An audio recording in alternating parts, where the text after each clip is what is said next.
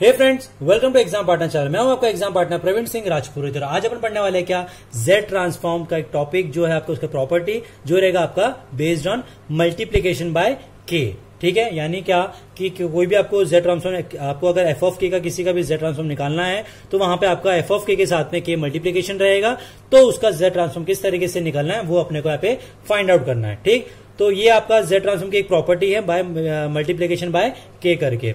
तो Z transform के question को सॉल्व करने के लिए यहाँ पे आपको जो बेसिक पॉइंट्स है वो आपको क्या पता होना चाहिए कि उसकी प्रॉपर्टीज़ क्या क्या है, सबसे पहली बात। दूसरा, उसके स्टैंडर्ड सीक्वेंस या फॉर्मुलेस क्या क्या है। तीसरा, उसका Z ट्रांसफॉर्म का बेसिक कॉन्सेप्ट क्या है कि भाई क्वेश्चन को किस तरीके से सॉल्व करना है, कैसे लिखना है, क्या लिखना है एंड में क्या क्या आंसर होता है, कैसे लिखना होता है, ये सर आपको पता होना कंपलसरी है। अगर आपको नहीं पता है तो क्या कर सकते हो आप यहाँ पे कि M3 का जो प्लेलिस्ट बना हुआ है मैंने चैनल के ऊपर, वहाँ जाओ, देखो कॉन्सेप्ट क्लियर करो अच्छी तरीके से। उसके बाद में अगर आप इस वीडियो पे आते हो तो आपको कॉन्सेप्ट और भी अच्छी तरीके से क्लियर हो जाएगा। अगर आप ये वीडियो पहली बार देख रहे हो डायरेक्ट देख रहे हो तो भी आपको फंडा क्लियर होगा। लेकिन कहीं कहीं पे आपको कंफ्यूजन होगा कि भाई ये फॉर्मुला कहाँ से आया, ये प्रॉपर्टी कहाँ से है इसके लिए। तो जाओ, देखो वीडियो उसके बाद में आप इस वीडियो पे आओ तो आपको टॉपिक बहुत और भी अच्छी तरीके से क्लियर हो जाएगा। तो अपन शुरू करते हैं, जो रहेगा आपका जेड ट्रांसफॉर्म के ऊपर बेस्ड ऑन मल्टीप्लीकेशन बाय के तो सबसे पहले इसका एक प्रॉपर्टी देख लेते हैं कि भाई मल्टीप्लीकेशन बाय के रहेगा तो उसका आंसर कैसा आएगा।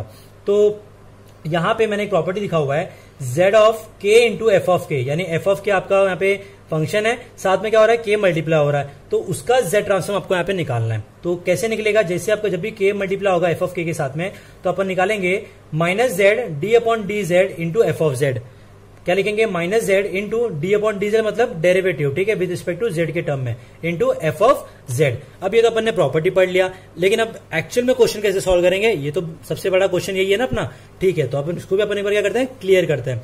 तो क्वेश्चन यहाँ पे मैंने एकदम थोड़ा सिंपल सा लिया हुआ है। तो क्वेश्चन आपका इस तरीके से है। F of k equals to k ठीक है? ये मैंने क्या ले लिया यहाँ पे? एफ़ ऑफ़ के को मैंने क्या कंसिडर किया? के कंसिडर किया है। ठीक? कंडीशन है k is always greater than equal to zero तो याद रखना जेड ट्रांसफॉर्म में आपका हमेशा कंडीशन इंपॉर्टेंट है। कंडीशन आपको चेक करना है कि कौन सा यहाँ पे ग्रेटर है कि लेसर है। ग्रेटर है तो कौन सा फॉर्मूला लेसर है तो कौन सा फॉर्मूला करके, ठीक? तो यहाँ पे अपन क्या करेंगे?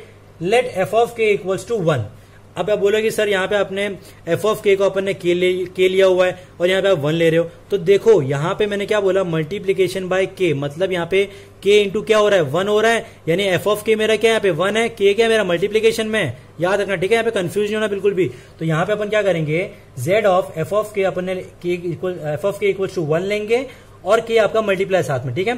तो z of f of k equals to z of f of k कितना है? वन तो ये जेड ऑफ़ वन आएगा। नाउ जेड ऑफ़ वन का अपने को यहाँ पे सीक्वेंस पता है फॉर्मूला पता है z upon z minus one अब बोलोगे, सर, ये कहाँ से आया? तो ये अपने ने कहीं से निकाला नहीं है। ये अपने को स्टैंडर्ड जेड ट्रांसफॉर्म का जो फॉर्मूला है, वो अपने को गिवन है। ठीक?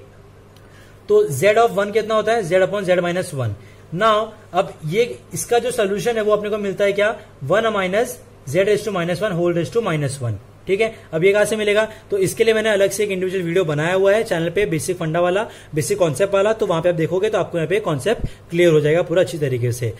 नाउ जेड ऑफ़ के अब के इंटू वन हो जाएगा। देखो z of k into one हो गया। मतलब जब भी के आप के एफ़ ऑफ़ के में के मल्टीप्लाई करेंगे तो क्या करेंगे? ये फॉर्मूला यूज़ करेंगे right minus z d of d z into f of z तो ये आ गया मेरा minus z d upon d z f of z f of z मतलब क्या मेरा? ये जो मुझे जेड ऑफ़ एफ़ ऑफ़ के मिलता है। इसको हम क्या बोलते हैं? एफ़ ऑफ़ जेड मतलब ये आएगा one minus z is to minus one whole is to minus one समझ में आया? Now z transform of k into one equals to minus z आ गया एज इट इज़ अब डेरिवेटिव ऑफ़ दिस निकालेंगे। तो ये मान लो मेरा क्या हो गया पूरा? X raise to minus one तो अपने को आंसर मिलेगा। Minus one minus z is to minus one whole is to minus two into जब वन का करेंगे ज़ीरो और z is to minus one उसका क्या आ जाएगा? Z is to minus two मैंने सिंपल सा यहाँ पे क्या किया हुआ है? डेरिवेटिव ऑफ़ दिस निकाला मैंने और कुछ नहीं किया। इस पूरे को मैंने एक्स कंसिडर किया तो x is to minus one हो गया। तो n x is to n का फॉर्मुला क्या होता है? N into x is to n minus one ठीक है? वही मैंने यहाँ पे फॉर्मुला यूज़ किया है और कुछ भी नहीं किया। नाउ यह आ गया z transform of k into one equals to अब यहाँ पे जब इसको सॉल्व करोगे तो आपको मिलेगा answer z into z is to minus two upon one minus z is to minus one whole square ठीक? इसको आप जब सॉल्व करना तो आपको यहाँ पे ये पक्का मिलेगा, ठीक है? ये मैंने यहाँ पे डायरेक्ट लिखा हुआ है, क्योंकि थोड़ा सा लेंदी ये था इसके लिए, ठीक?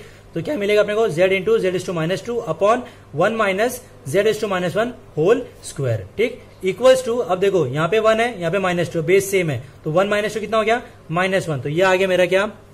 Z is to minus one upon one minus one upon z whole is to square समझ में आया? अब z is to minus one को मैं क्या लिखूँगा? वन अपॉन जेड अपॉन अब इसको मैं सॉल्व करूँगा तो मुझे अंदर क्या मिलेगा? Z minus one upon z the whole square equals to अब देखो, ये जेड स्क्वायर है। ना ये क्या मिल गया अपने को? यहाँ से जेड और यहाँ से स्क्वायर स्क्वायर का एक जेड वो कैंसिल होके अपने को मिलेगा one upon z minus one whole square upon z अब ये जेड मेरा जाएगा ऊपर तो मिलेगा मुझे z upon z minus one the whole square समझ में अच्छी तरीके से? पक्का? यहाँ पे मैंने क्या किया? वी वन अपॉन जेड था upon z minus one upon z the whole square right तो मैंने क्या किया? Z minus one the whole square ये ऊपर लिखा और ये जेड स्क्वायर हुआ। तो ये जेड स्क्वायर और ये एक जेड मेरा एक जेड कैंसिल हो गया तो यहाँ पे मेरा एक जेड बच गया। ये जेड मेरा जाएगा क्या? ऊपर। तो मुझे मिलेगा z upon z minus one the whole square तो मुझे z z transform of multiply by k of one function का मुझे जेड ट्रांसफॉर्म कितना मिला? Z upon z minus one the whole square समझ में आया? तो ये था क्या? Multiplication by k of f of k तो thank you so much video देखने के लिए। अगर वीडियो अच्छा लगा तो लाइक कर दो कमेंट कमेंट कर दो सब्सक्राइब कर दो। अगर आप इस चैनल पर नए हो तो सब्सक्राइब करना भूलना मत और बेल आइकन प्रेस करना भूलना मत, क्योंकि आगे बहुत सारे वीडियो है जो इंजीनियरिंग मैथमेटिक्स के आने वाले हैं। Thank you so much have a nice day